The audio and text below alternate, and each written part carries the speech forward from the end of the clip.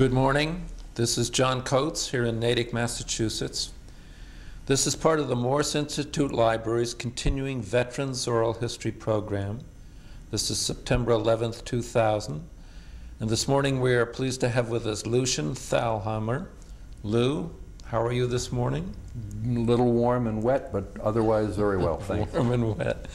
Lou, can we begin by my asking you how old you are? 72 72 and your current address? in Natick.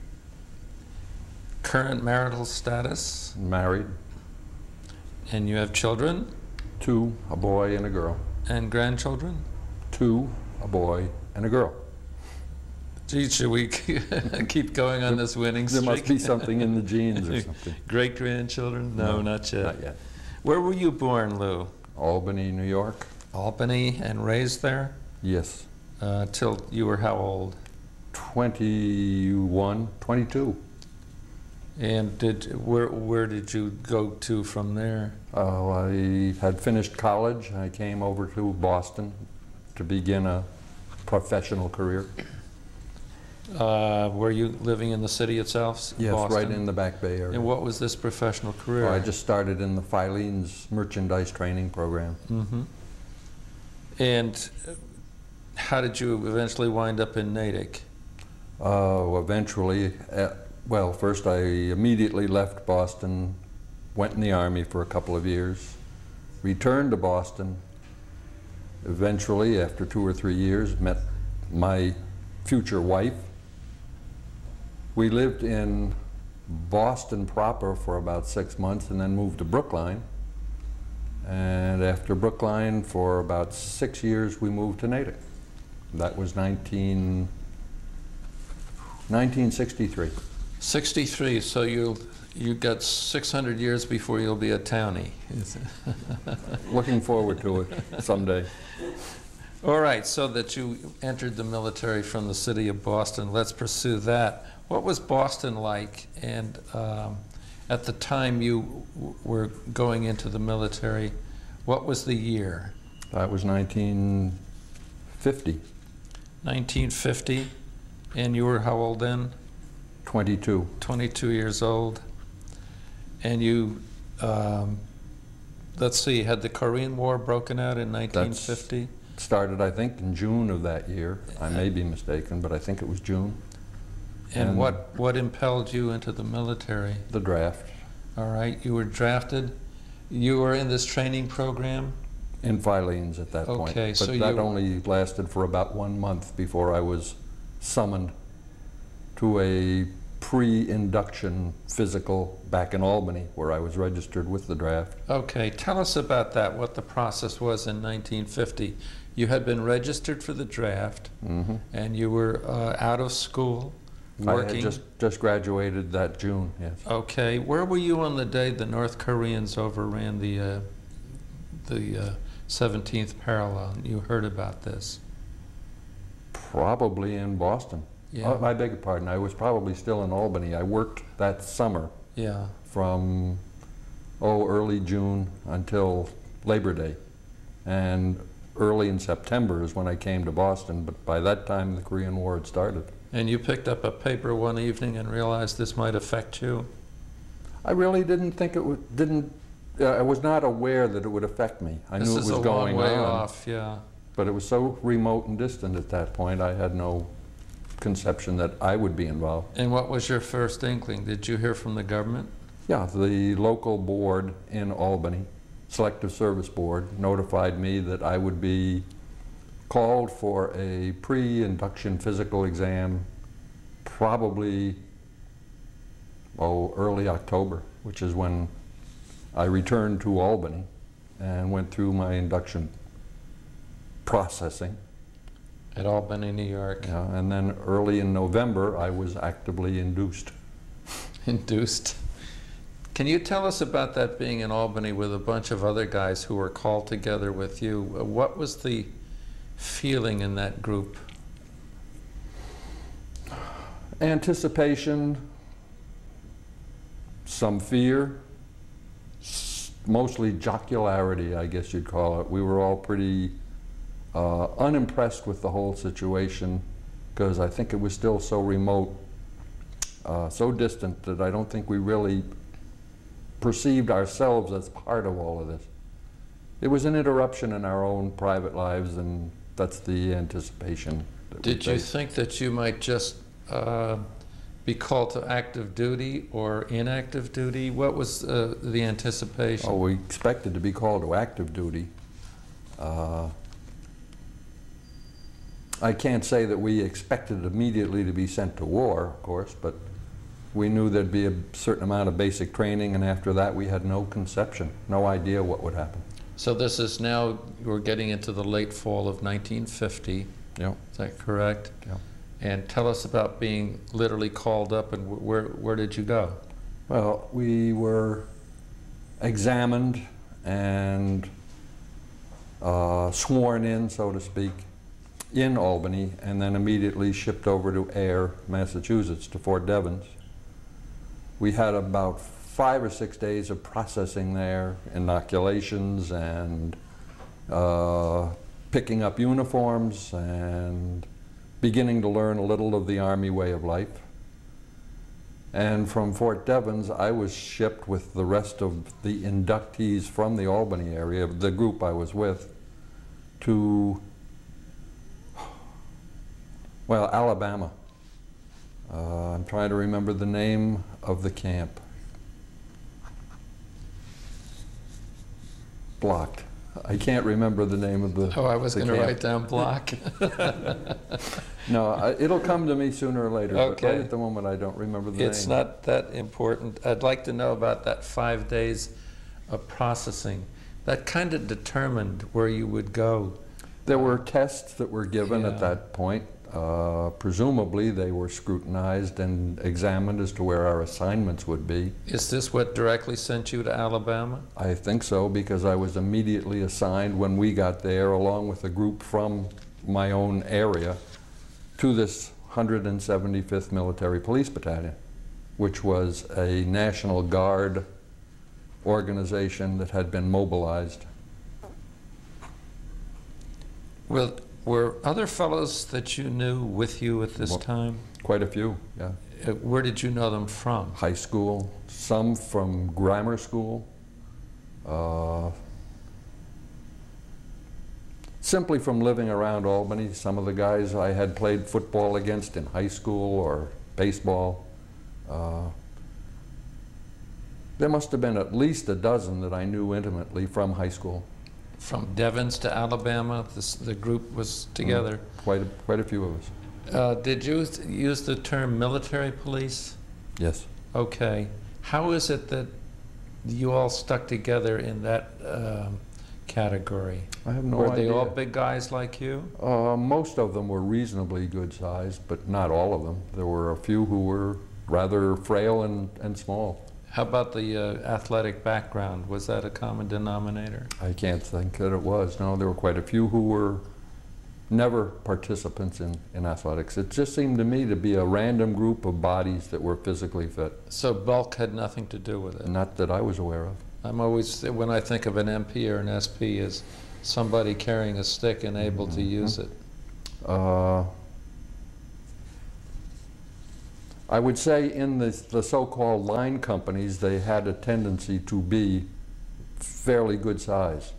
Uh, the fellows who were out on active patrol ran to pretty, pretty formidable people most of the time. Um, there was another, there were four companies in the battalion, and some of us were assigned to the headquarters company, which is where I wound up. For what reason, I have no idea. Okay, tell us about uh, being in Alabama, assigned to the headquarters battalion. What did they expect you? Well, initially, we were go- undergoing basic training. There was nothing particularly uh, peculiar about the training among the group, as far as I can recall. There were some, uh, what do you call them, military, uh, military specialists designations and for whatever reason, I was assigned to this headquarters company along with uh, at least one other fellow that I knew. Most of the people who were in the group that I was drafted with wound up in the uh, active MP uh, companies of the battalion. They eventually were the ones who were out on patrol and performing certain duties that the headquarters company personnel were not. Okay, was there a, an interim processing, um, testing area where you were deselected, as it were, that you were not part of the group that went out on the streets? How did you, how did you get separated out? To be honest, I don't recall. I believe that I became friendly with a sergeant just by virtue of our being among this group who was the operations NCO, the, the chief military, what would you call him? The head NCO within the headquarters company. And I believe it was he who in, uh, invited me, so to speak, to apply to the company commander and, and the officer in charge of the operations company, uh, headquarters company. And I talked with him and eventually was accepted into that group for what reason, I don't know. That's good. Sometimes that's the way those things worked out. Uh, was what you're learning now and what you were trained to do at that point, is that what you can continue to do during the rest of your military career? Yeah, by and large. Okay. Would you rather have done something else if you had your druthers? No, I was quite pleased to be in the headquarters company because we did a good deal of planning and uh, detail work on mapping out what the battalion's strategic assignment turned out to be. But in the meantime, you got all that close order drill stuff and Oh, yeah, basic how to training. fire rifles and things Basic like training was more or less uniform for everybody in the battalion. How much infantry training did you get? Not very much. Uh, there was a certain amount of firing line and uh, orientation with various types of weapons, but I think, as I recall, it was minimal. had to qualify with a rifle, and that was about the only thing we really had to be semi-proficient with. Were you using uh, Garands at this time? We had carbines. You were using the carbine? Okay. Did the military, the, that is to say the U.S. Army, prepare you for cultural differences that you might encounter if you were sent to other countries? Did they sit down and talk with you about uh, Europe or Asia? No, not that I recall. About the only thing I can recall is that we were told to behave ourselves and not create any international incidents. Don't start another war. We've got enough trouble. yeah. And how long did you stay in Alabama, Lou? My best recollection is about, oh, three months. This should bring us up to uh, February of 51. Just about then, Yeah. yeah, February or March. Did they let you get home at any time here? We had a short uh, furlough over the Christmas holiday season, yeah. And then in February of 51, uh, did you leave Alabama? moved to Camp Atterbury in Indiana. And we remained there, oh, till, uh, I can't remember the exact time, but roughly August. August of 51. Yep. I When you were sent out to Indiana, did you go as an individual or a unit? As a unit, And how many of your friends from Albany were part of this group? virtually all of them, All of them. You're still a collective unit. more or less, but integrated into this uh, mobilized National Guard outfit. Mm-hmm. Uh, because the National Guard outfit had been in uh, existence for a long while, they had most of the uh, higher echelon positions. They had sergeants, corporals, PFCs, etc. Was this a Southern National Guard unit? Uh, somewhat southern, yeah, from Missouri. And it encompassed, oh, anybody from whatever part of the state wished to join this particular National Guard organization. Some of them were from the major cities and the university city, I think Columbus is where the University of Missouri was. Many of them were from, oh, I'd call it the, the Ozark Mountains area, and were backwoodsmen.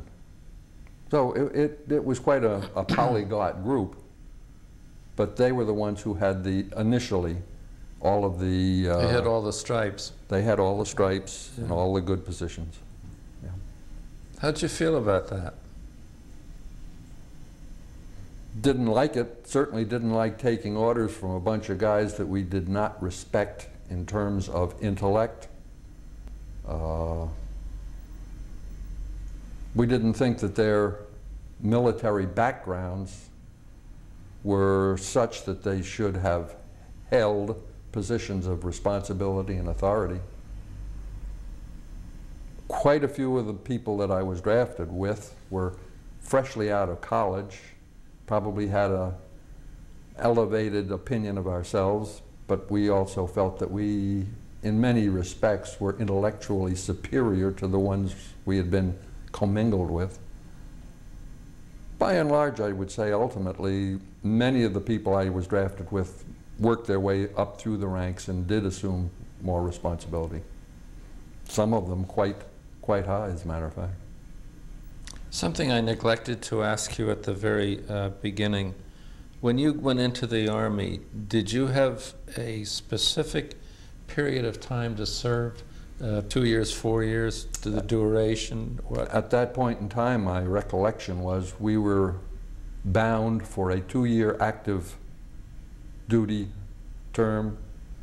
I believe it was when we got out of that two-year period, we could either take, uh, I think it was an additional three years of active reserve participation or five years of inactive reserve.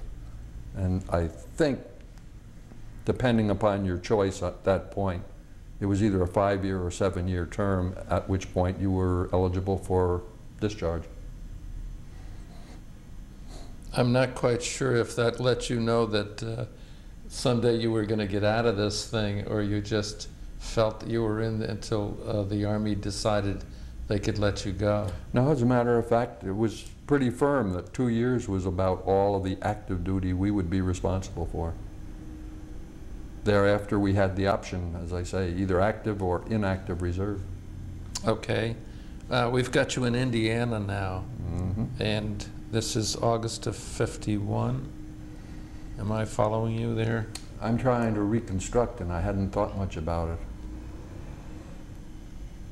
It was approximately nine months after being drafted, which was the beginning of November, so that would put it roughly the end of July or early August. Okay. And what did you do in Indiana? Training for uh, what I gather was the assignment of that military police battalion. They had a specific responsibility that they were gearing up for. And we did not know this, we weren't aware of this at the time.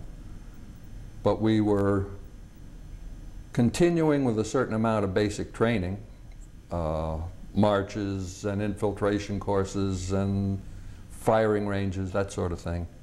And at the same time, we were also doing some uh, road, mar- uh, what would you call them? Convoy duty.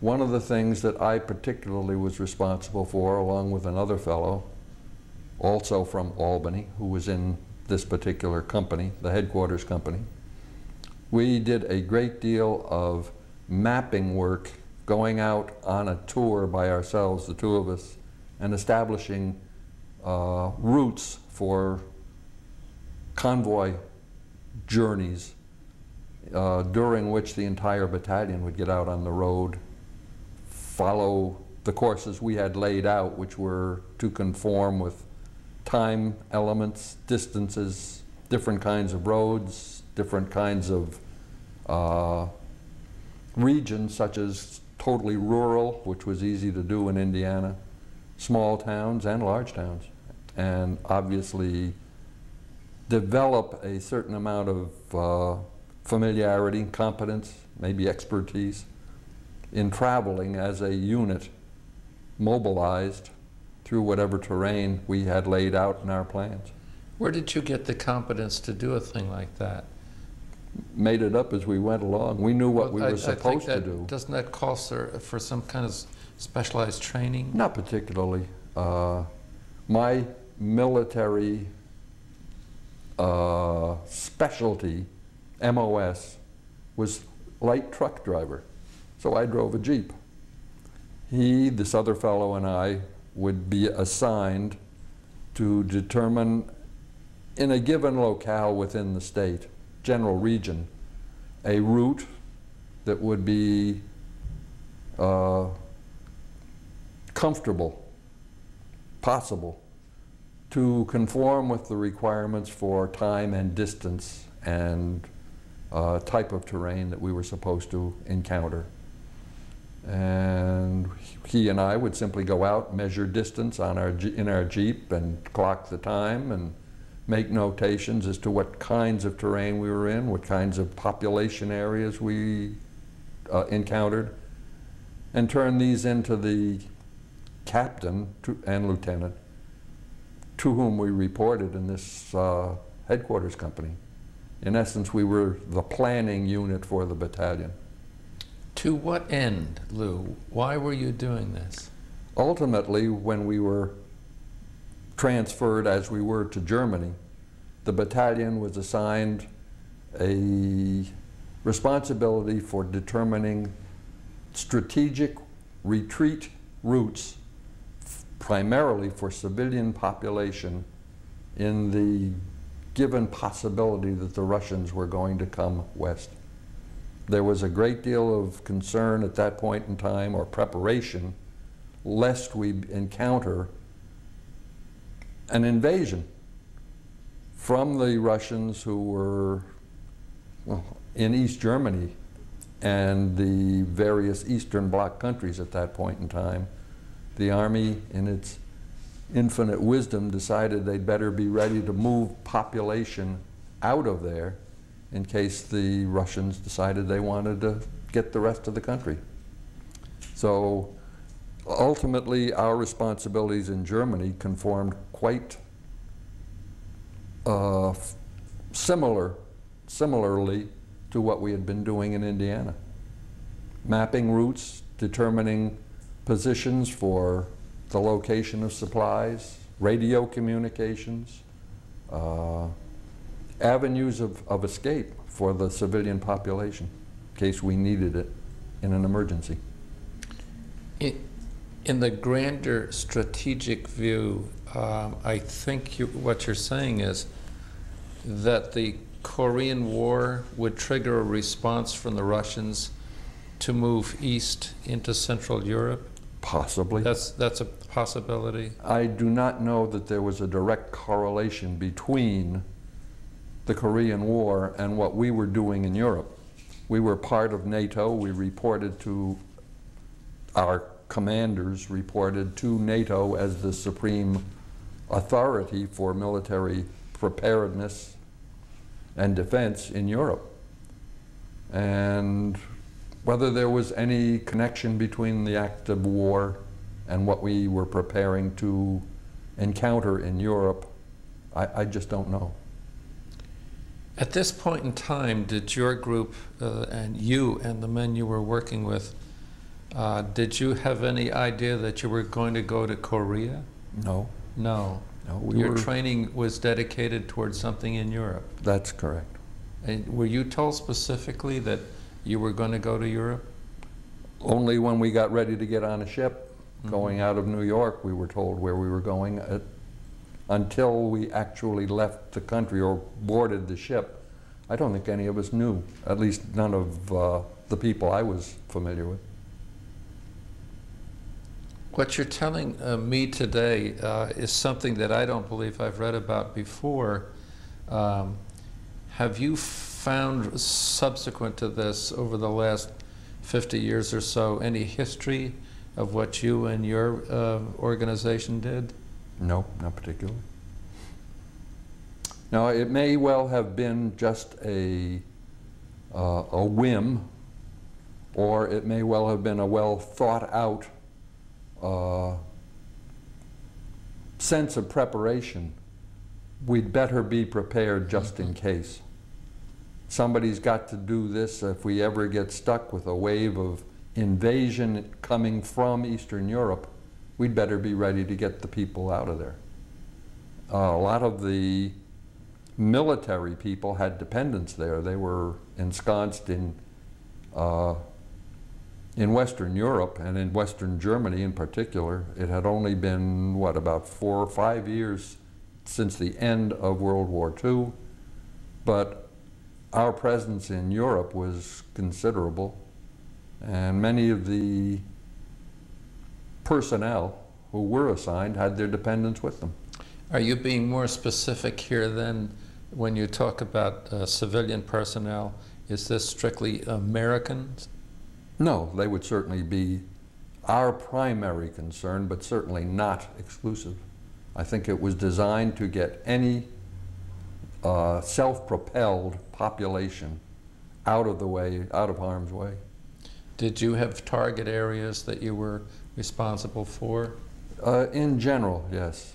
Uh, central Germany from the, the, the, the West German border bordering East Germany uh, through to uh, whatever countries lay to the west of that, France, Belgium, Holland, Switzerland, certainly nothing specific, but with a definite idea that we would be responsible for constructing and maintaining plans to transport anybody who could transport themselves through, through the country from east to west in case there was an invasion. I'm not quite sure what sequence to ask you these questions in. Let's get you overseas, uh, where you're going to do this. Uh, when did you go overseas? I believe it was August of 1951. That's, did you go straight from Indiana? Yeah, we went from Indiana to a, an embarkation point in New York, from there to Bremerhaven, Germany. Mm-hmm. Sailed over and, um, Troop ship. yeah, what was that like? Not terribly bad. It We've was, had guys in this room that sailed over on the Queen Mary, so. Now, this was, this was a, uh, my recollection was a converted, uh, what did they call them in World War II? V, V ships or victory ships? They were transports, uh, which had been, These Henry Kaiser ships? that sort of Yeah. thing, which had been converted to troop ships. And we had responsibilities aboard the ship sometimes for KP work or uh, cleaning details and that sort of thing. But by and large, it was not a bad trip. Few people got sick. Uh, it was not a terribly rough voyage, as I recall. Lasted, I think, about eight days. Had you ever been to sea before? No, So you lucked out then. very much so. About the only unlucky aspect was that at one point, oh, about halfway across the Atlantic, some body or some people decided they would scrounge through the sleeping compartments, the, uh, oh, well, the, the, the sleeping areas where we were and take all the wallets they could find. I was one of the ones who was lucky enough to lose my wallet, wound up with whatever change, loose change I had in my pocket. And that's the way I entered Germany, borrowing, Dead broke. Yeah. borrowing a few bucks here and there till the end of the month when we got paid again. Tell us about landing in Germany. You went to Bremerhaven. Yeah, Bremerhaven, and then boarded trains that would go south uh, down through the center of the the heart the, the center of the heartland of Germany to just about the central, maybe southern, little southern part of Germany around Stuttgart. This is 51. Uh, surely you saw a lot of uh, damage from the war. Oh, yes. Uh, can you tell us about what Germany looked like in 51? The little towns, by and large, didn't seem to be terribly affected, although I'm sure they were. We didn't have the chance to see too much of that. But the larger towns like Stuttgart were really just shells of what they had been. Uh, my recollection is that the main intersecting streets of Stuttgart were nothing but one floor of, uh, open, available for occupancy, and whatever stood above them was just hollow walls. Uh, that particular city had taken a horrible pounding, we were told, partly by our own Air Force, but to a large extent by the French invasion army during the invasion of Germany. Uh, Stuttgart sits in a bowl with hills and small mountains all around it. And apparently the French just sat up on these mountains and shelled the city and just kept shelling it. And as a consequence, all we saw were ground floor occupancy. Anything above that had been either pulled down or left, if it was safe enough to leave, as something to be taken care of later. It was pretty, pretty badly gutted. What was your reception by the uh, population there? I would say it was cool, but not hostile. Uh, for the most part, the German civilians would uh, accept us. I think that's the best word. Is it fair to say that they were um, looking at you as Americans, but in preference to your being Russians? Oh, yes. Yeah. Was there any anticipation on their part of um, the Russians arriving in town? not that I was aware of, no. Uh, the country was still rel relatively new to the division, and I think that was all that was on their minds ter in terms of international uh, relations. They were far enough away from the east-west line of demarcation so that I don't think they were directly affected. Some of them obviously had families that were, they had been separated from, but for the most part, I don't remember anything uh, in terms of fear, con even concern about the Mhm. Russians. What was your rank at this time, Lou? I think I was a corporal by then. Corporal, you seem to have uh, considerable responsibilities. Well, to a degree, yes. Uh, yeah, we were spending an, still a great deal of our time developing uh, convoy routes and communications areas. Uh, it was a hilly part of the country, some low mountains. And it was not always possible to communicate by radio from one locale to another. So we had to run with radio trucks along with our mapping operations and make sure we could communicate from one uh, stopping point, one uh, bivouac area to another, Were you stationed in Stuttgart? just outside of Stuttgart. Okay. It was what I believe was a former German Air Force base. And you're still with a lot of the guys that you knew from Albany, New York? Quite a few, yeah. I'm, I'm interested again in the atmosphere at the time and the, the terrain and a, a kind of desolated Germany. Um, and your job, as if I, if I understand it correctly, was to clear the path in case of an invasion from the east, from the Russians. Mhm. Specifically, then, what did you set out doing? The same thing as uh, before, mapping and this? Relatively, yes. We would be out on either overnight convoy uh, operations or occasionally long-term uh, bivouac plans. Uh, One in particular in uh, involved, as far as I know, not only our battalion, but many of the strategic forces that were located in Germany. And it lasted, as I remember it, for, it was war games, pure and simple. Uh, lasted for about two weeks. And our particular headquarters companies established a command post, if you will, near Darmstadt, Germany. And we had patrols out running traffic and communications operations all around the central part of Germany. There were so-called aggressor forces that we had to be prepared for. I can remember being out on guard duty several nights. Uh,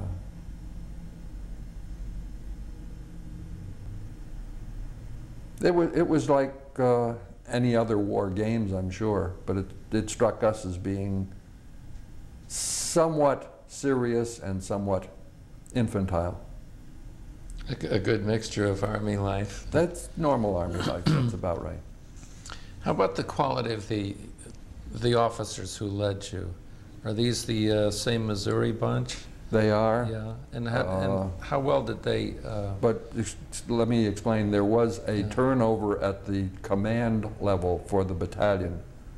The original commander, who had been with the group back in Missouri, was relieved, he retired, I believe, and a new commander was brought in. I think there was also a new operations officer, a major, who was brought in. Some of the officers who had been with the battalion back in Missouri were reassigned.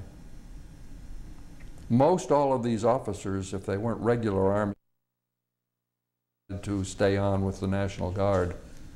And some of them were fit for their particular responsibilities, others were somewhat out of uh, their element.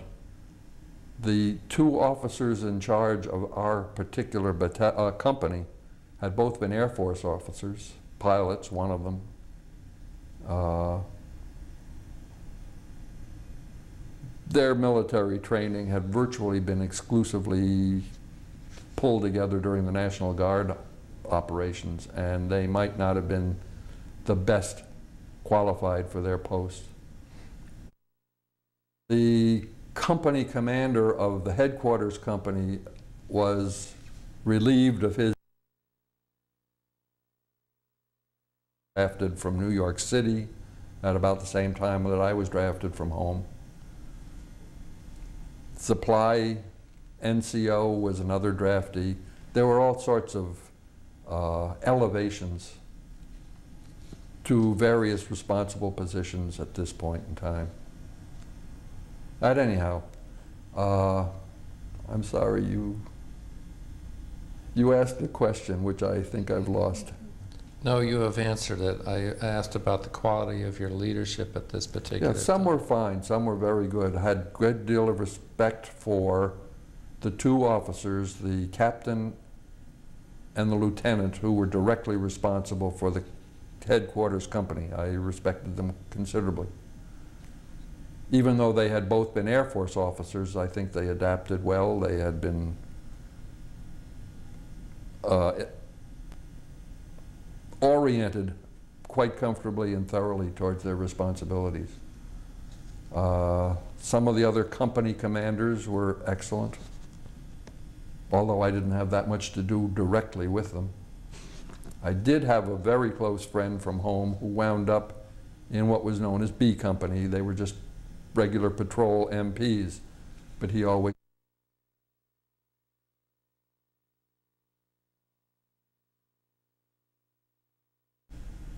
How about food? Did they feed you well?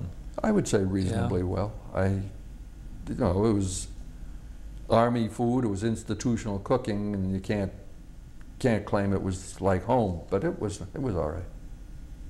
Okay, back to work. Um, Did you have target populations that you knew you were going to have to have part of your clearance process? Did you tell them you were there for this reason? Not that I'm aware, no.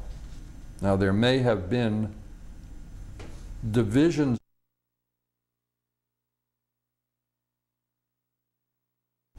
civilian population. Well, were you now still setting up uh, maps and, uh, Yeah. I was in Germany. but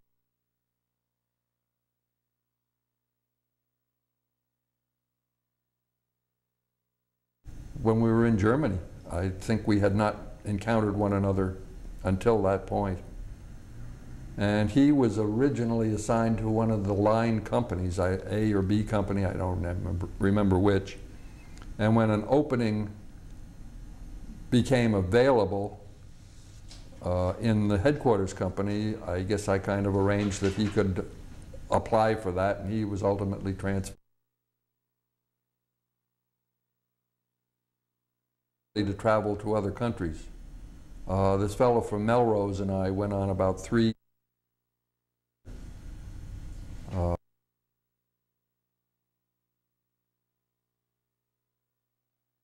Spain or Portugal, which we wanted to do, but we just plain ran out of furlough time. We used every minute we had, I was about to say, they, they were very generous with you. What about the rest of Germany? The same impression of a pretty flattened place? insofar as we were able to determine, yes, it had been pretty badly bombed, shelled. Uh, never did get to Berlin because that was in the eastern part of the country. Uh,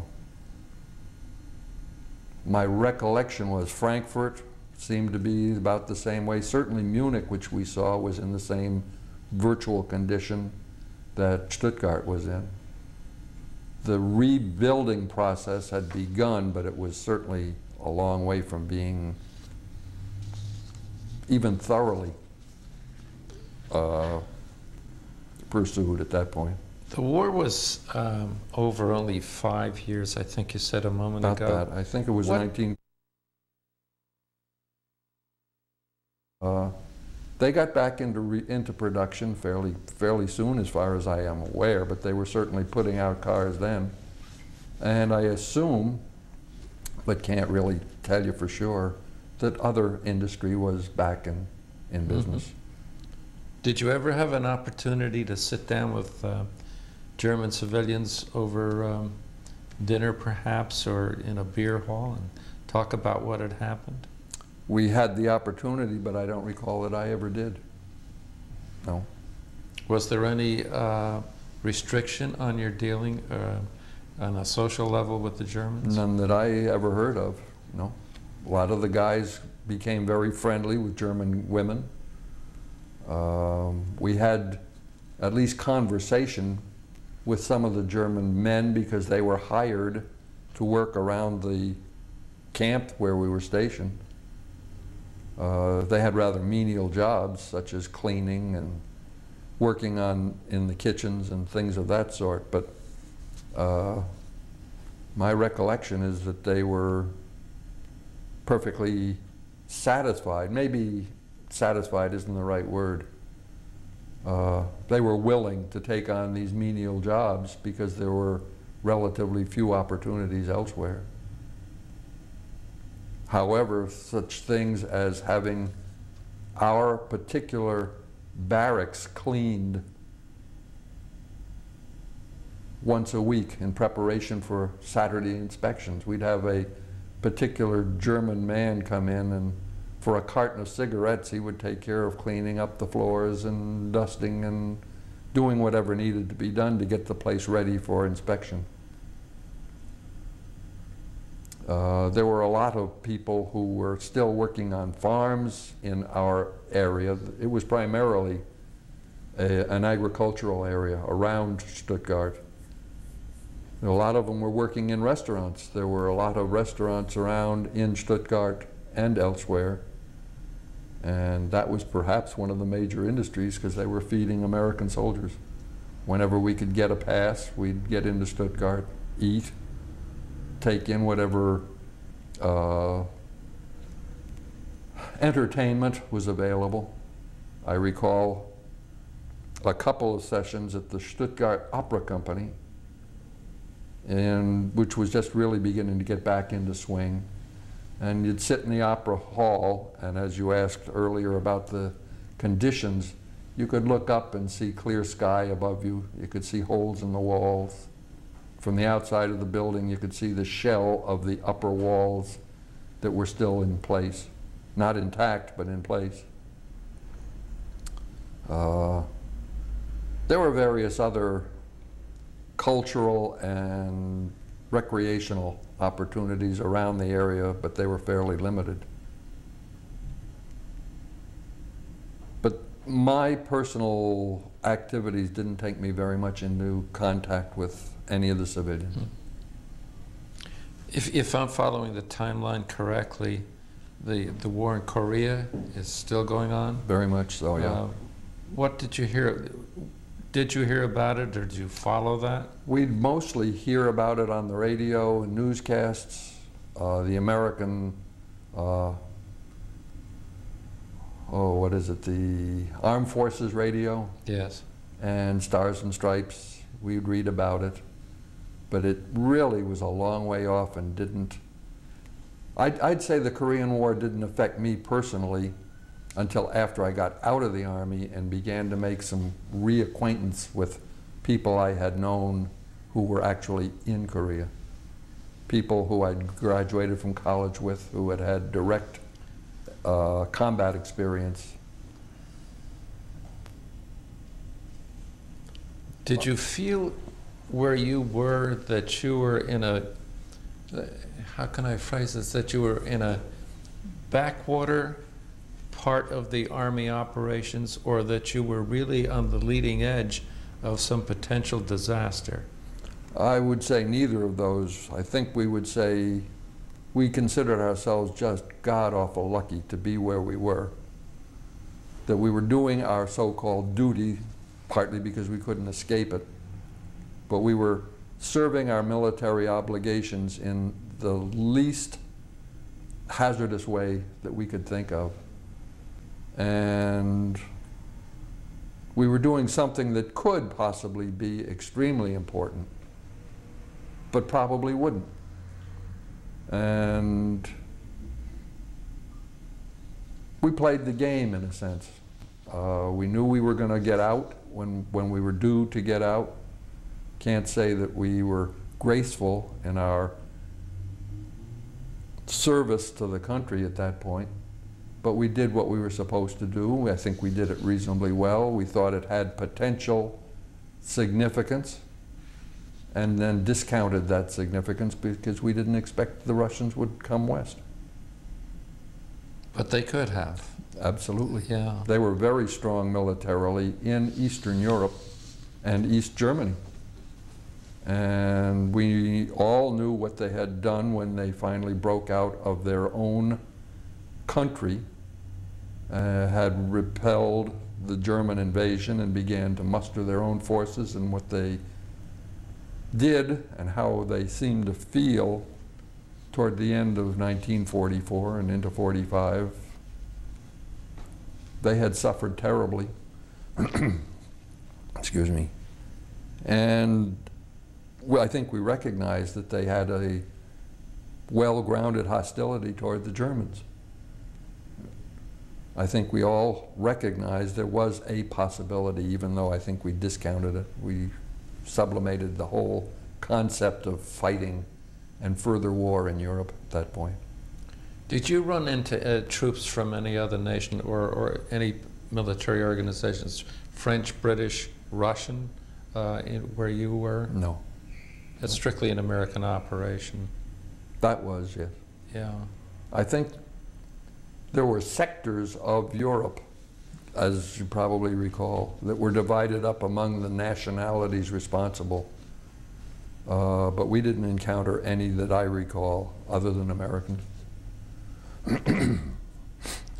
Okay, you are in Germany and you are doing your thing, but the clock is running, fortunately for you. Mhm. Um, are you getting down toward where you're going to go home? Oh, yeah. Be discharged? Yeah, we were, I was personally in Germany for about 15 months. And the rotation of the group I was familiar with, and most of the military police battalion, began uh, roughly around the middle part of September, I beg your pardon, of October of 1952. And my best recollection is we were brought home in about three waves, middle of October till roughly the beginning of November. So you weren't on any kind of a point system. You would just knew that you were going to get out two years after. Just a question you're of being serving called to a certain amount of time. Yeah. What wave were you in, Lou? I came back in the last group. uh, Got back to the United States in, I believe it was around November 7th of 52, and then went down to, uh,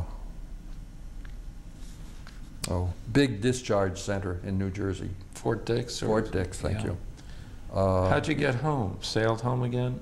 Came back on a troop ship, Hung onto your wallet this time? hung onto my wallet and hung onto my meals. We ran into a tail end of a hurricane. November is not a good time to cross the Atlantic.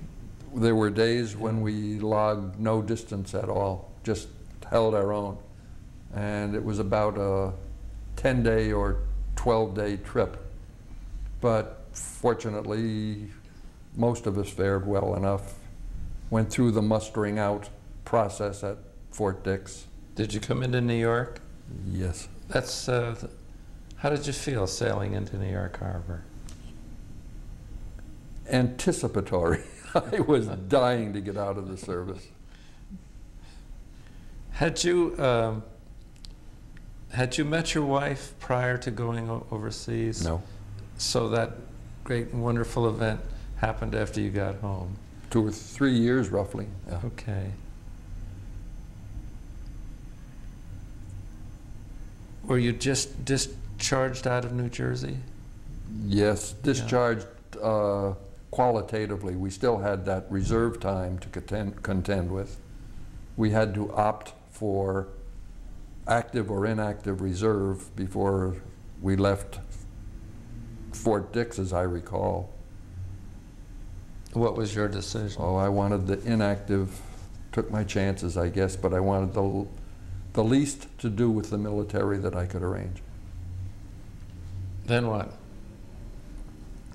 You went on to school? Uh, No, I you- went back, I, I came back to Boston and Yeah. went back to work in Filene's January of 1953. Home again. Was there a most memorable experience in your career that, that two years that when you think about your Army life, th- something stands out above everything else? Uh, two things. One was that uh, war games experience up near Darmstadt, Germany, when we were living out in pup tents for two weeks. And the other was the various opportunities to travel in Europe on our various furloughs. Why would that business in pup tents uh, come back to you more than anything else? It was a, well, prior to going in the Army, I used to enjoy camping up in the foothills of the Adirondacks. And this was kind of like an, like a, a muddied up camping trip. Uh, we'd be out on the roads much of the time, uh, setting up communications and exit route uh, definitions and sleeping in pup tents. It was in the middle of winter, so we had to contend with snow and a couple of times with ice storms.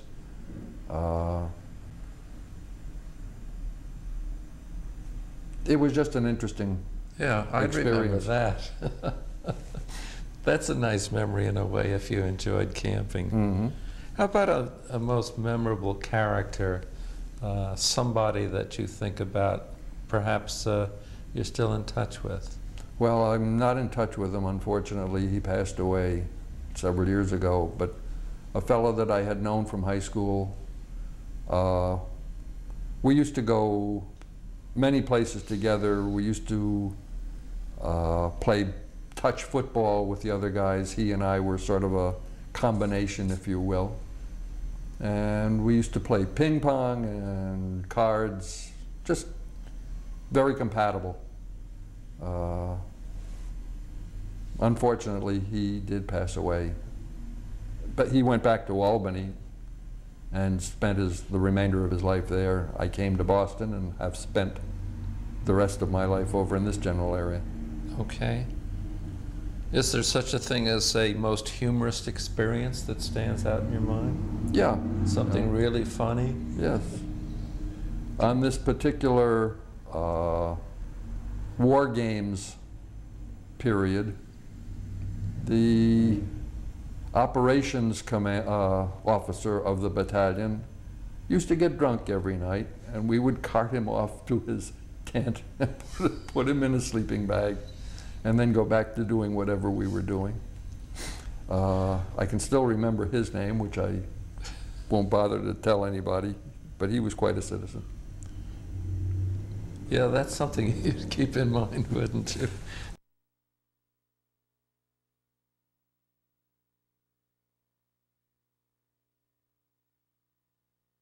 Organizations that I'm aware of, service-related organizations, are pretty conservative, and my political leanings are are not sympathetic with them.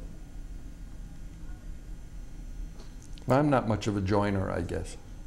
Okay.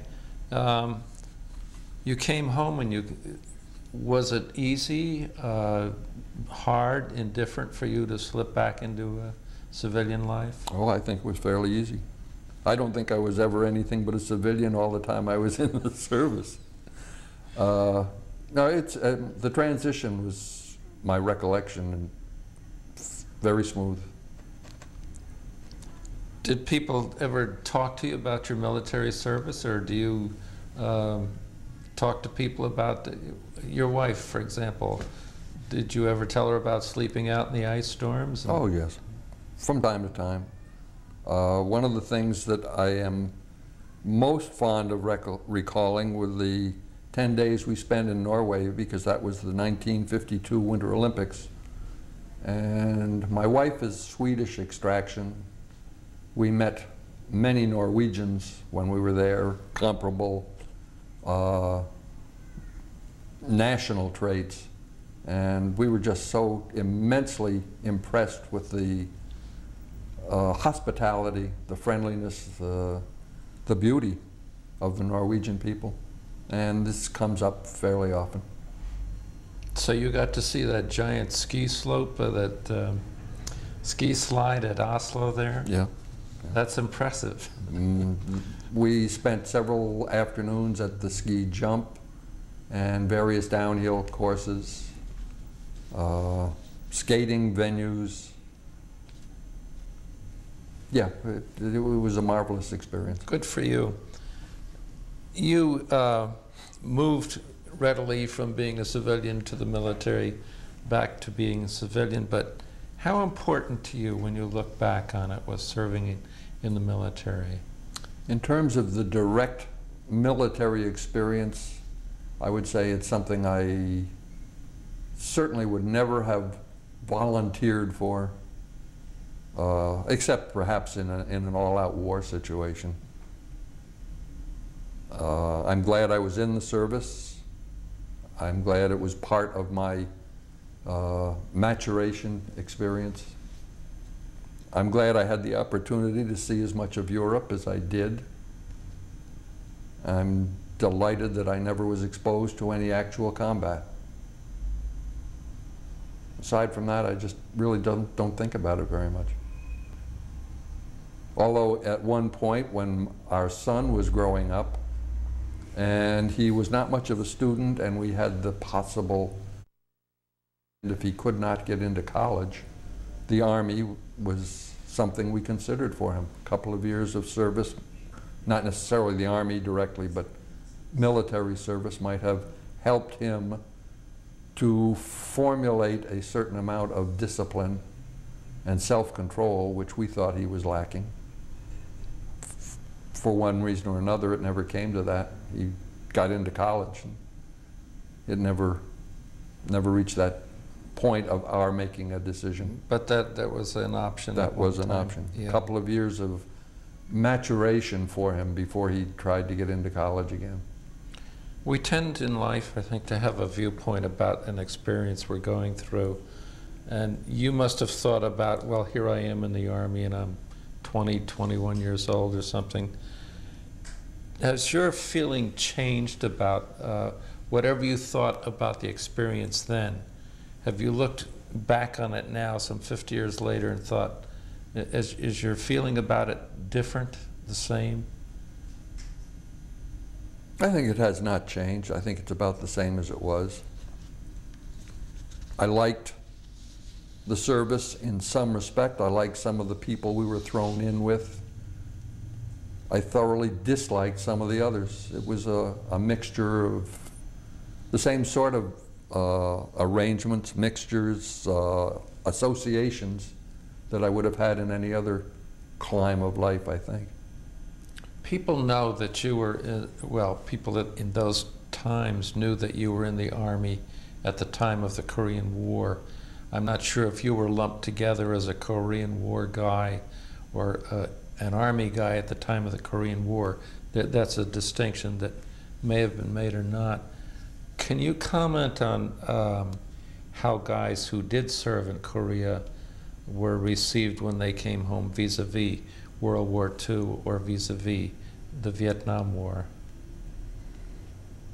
Uh, I really can't say. I was not directly in contact with any of the people who did come back from Korea. I knew of quite a few of them, people primarily that I had been in college with, but I didn't have any direct contact with any but one. And how he was treated, we never, never discussed. I know he went through hell. Uh, went into the same the service just about the same time I did and came back at the age of 24 or 5 with totally white hair and many personal personality aspects of having been through very very great travail. But I did not see much of him. Uh, he lived in Connecticut. I was up here. Uh, and I did not see very many other veterans at that point in time. So I really can't say. I know that the World War II veterans were given a great deal more uh, acclaim and receptivity, if you will, than during the Korean War. And certainly it was different from the Vietnam War and the treatment the vets got coming back from that. But I, I really didn't have that much personal feeling one way or the other. All right. Did you yourself, Lou, uh, take advantage of any veterans' benefits since the war, such as uh, oh, hospitalization, the GI Bill, or insurance, or anything like that? Insurance was the only thing. I kept up a, a, an insurance policy. hmm Fortunately or otherwise, I never needed uh, and never had recourse to any of the other benefits. Okay. Is there, above all, any one thought or incident or anything you would like to share with your uh, family or people who will look at this tape? No, I can't say it. It had that much of an impact on me. Uh, I, as I said, I was glad that I was in the service in a out of harm's way, that I had the opportunity to gain some experiences, primarily travel in Europe, and meet some people who, one person in particular, who has remained a, an associate, a contact, a friend through the years. But other than that, I, I can't say the service. Uh, there were a lot of unhappy times in the service, as there is for everybody, uh, doing things you don't particularly like to do, taking a lot of uh, direction from people you don't particularly enjoy associating with. But they tend to smooth over over time, and you remember the good things primarily and not the bad. That's a very uh, good note in which to end this. Uh, We want to thank you for coming in today. We appreciate your being here, and you're a very articulate man. We enjoyed having you today. Thank Well, you. I hope I can, I hope I shed some light, at least on my own personal experience.